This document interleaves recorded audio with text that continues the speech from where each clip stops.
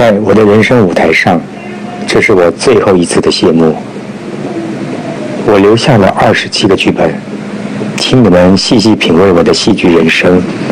天德教师尊无形古佛将带领我走向另外一个舞台，在那里，我会认真潜心修行我的编导演，继续坚持我的最爱，开门上台演戏。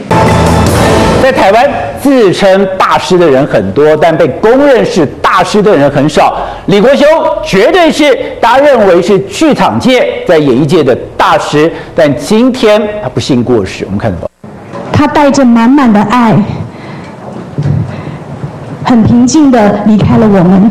终究这一天还是来到了。李国修的太太王月墨镜下泛着泪的双眼，亲自宣布了挚爱的死讯，也带来了李国修老师人生最后一段话。在我的人生舞台上，这是我最后一次的谢幕。我留下了二十七个剧本，请你们细细品味我的戏剧人生。天德教师尊无形古佛将带领我走向另外一个舞台，在那里。我会认真潜心修行我的编导演，继续坚持我的最爱，开门上台演戏。李国修一生奉献给舞台，也是在他最爱的舞台上发现了身体有问题。二零一零年十二月罹患大肠癌第三期，即使到人生最后的尽头，李国修也不忘展现一贯幽默。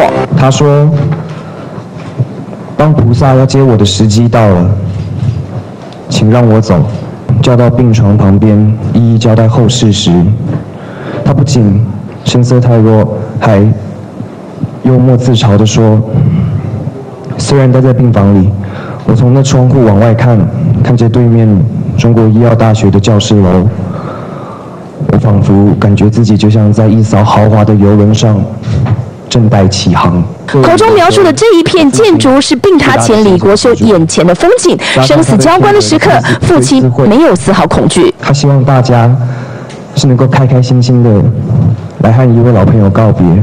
好，谢谢。我觉得在台湾。不敢说每个人都看过李国修的这个戏，可是大家一定都非常喜欢他。而且我在我小时候他已经红遍大江南北了，可是他居然放掉他等于说在电视的工作，哎，就跑去做剧场。做剧场多花钱，多多等于说根本没有钱赚。我觉得他最伟大的地方就是他讲人的一辈子把一件事情做好，那就功德圆满。我觉得这句话讲起来很简单，但做起来非常非常非常难。人家有认为他是卓别林，他就说了，连我的死亡都要是欢笑的、欢乐的。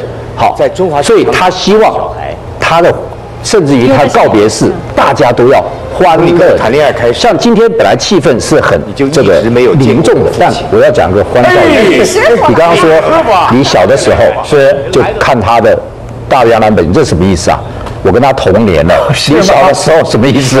说我很老了，是不是？啊，我真的小时候看他长大，我跟他同年，我们同年生的，真正同年生的。你讲你小时候是什么意思？我小我很老了，是不是？吧？了解。对，你看，他就这样子，就是把他他就是要把欢笑带给大家。我们刚刚这样就就觉得讲李国修的死亡，我就就要像我们这样子，用一种稍微带一点欢笑跟戏谑来纪念。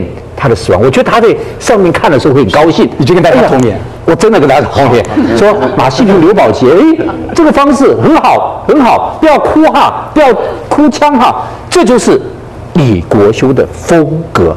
宝杰，你刚刚说你小时候听他的，是他没想到你跟他同年。那一年，我们说相声经典啦，嗯，民国七十四年，呃，那时候你还在读幼稚园呢，我知道。民国七，我已经当记者了，好。民国七四年那一年，我们说相声，我觉得台湾的相声界在舞台上用舞台剧方式起来，就是因为那一年我们说相声了。